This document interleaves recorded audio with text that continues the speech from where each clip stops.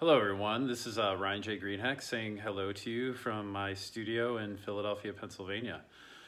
Um, I want to thank the American Craft Council for asking me to be one of the participating artists for their Inside the Artist Studio series that they put together for some of the artists that were going to participate in the Atlanta show this past month.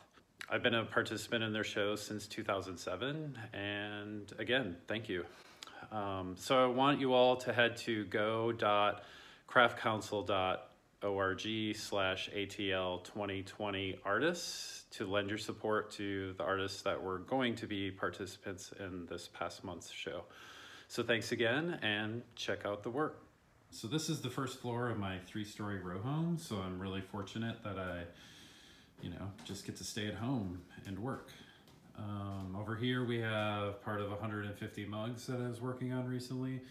So both black porcelain and white porcelain pieces.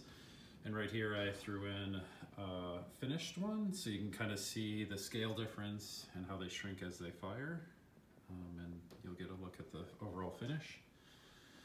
And over here we have some teapots that are in the works and some mugs again that I just finished. So right here we have this fishnet pattern that I had been working with for years.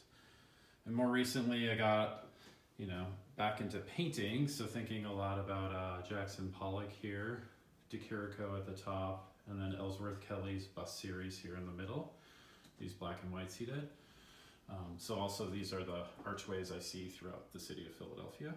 So if you head to ryanjgreenheck.com, you'll see most of these pieces listed there.